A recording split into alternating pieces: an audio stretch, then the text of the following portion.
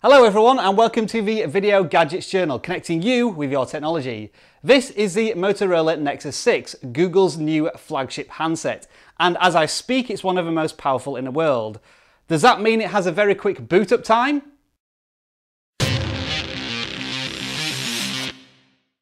My quest to completely dissect the Nexus 6 continues today with a boot up test. So here is the lovely 6 inch tablet aided today by the Samsung Galaxy S4. So I'm going to press the power button and as soon as the Google logo appears, I will start the stopwatch and we'll see how long it takes this bad boy to boot up.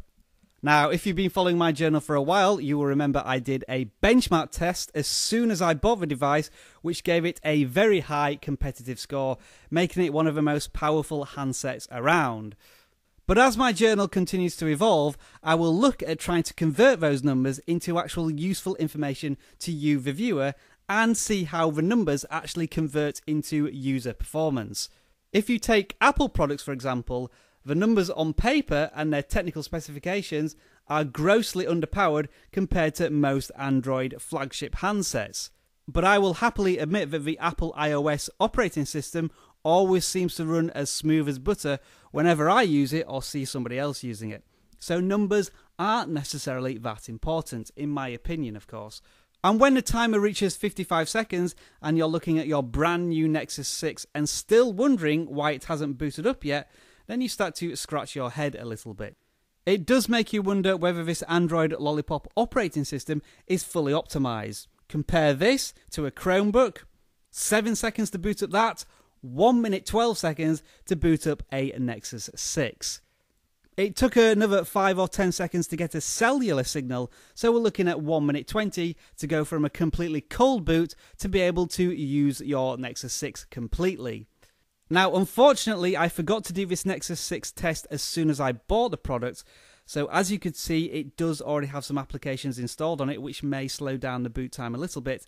And I couldn't boot it up into a new account, which would have had no applications running to begin with. It always seemed to boot up into my main account. So, as an alternative, I thought I would do a boot test comparison against another device that I've have plenty of applications on and have used for a very long time, and that's the Samsung Galaxy S4, which is about 18 months old now, and it's running Android KitKat 4.4. Now, in this test, I'm trying to be as objective as, as I can. I don't want to stress too much criticism on the boot up time, but when you see your Galaxy S4 booting up now, and being able to use it and still waiting for your Nexus 6, I want to ask developers or anyone else who's out there who has the answer to this question why does it take so long to boot up the Nexus 6? Is it Android Lollipop 5.0 or is it something in particular with this handset which makes it boot up for a very long time? Once it's booted up, it works absolutely fine. But, as you can see, I'm already well into my experience with the Galaxy S4, checking news, and finally, the Nexus 6 catches up. I hope you found this boot up test intriguing. I certainly did. I was very surprised that the Nexus 6 takes so long to boot up.